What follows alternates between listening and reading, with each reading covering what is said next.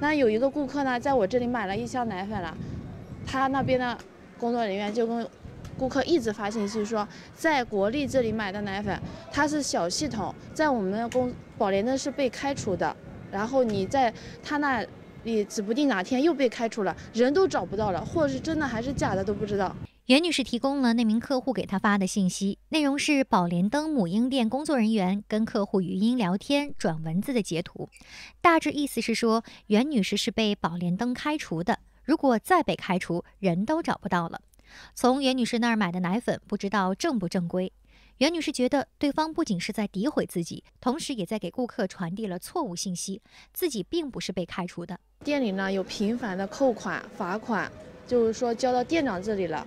就是就是因为这个罚款的事情反映到我们公司公我们公司反映到宝莲灯总部，就这样不出面解决问题，然后最后我们公司说那要不就换个系统，我就换了别的店了。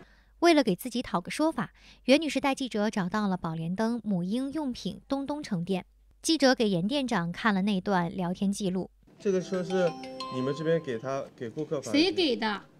如果是你自己给自己发的呢？现场，袁女士当着严店长的面给那位顾客打了电话。那是他们这边谁给你发的信息？这个就不方便透露了，反正就是他们那边人跟我说的。我们谁跟你说的？你方便讲一下吗？反正有人跟我说的，那其他跟我没关系，我也不方便说别人是谁说的。这应该是我语音啊，说的呀，有说呀，有说但是没有说是奶粉是小渠道呀。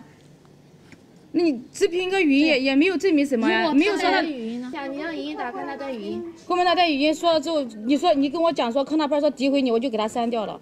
现场经过沟通，严店长表示之后不会再让店员给顾客发类似的信息，让顾客产生不必要的误会。好了，没事，咱也不差那一两个，顾客自由选择，他需要他就找你，你也不要发微信邀约他，也不用删掉，凭就是不给他发微信就好了。幺八幺八黄金眼记者报道。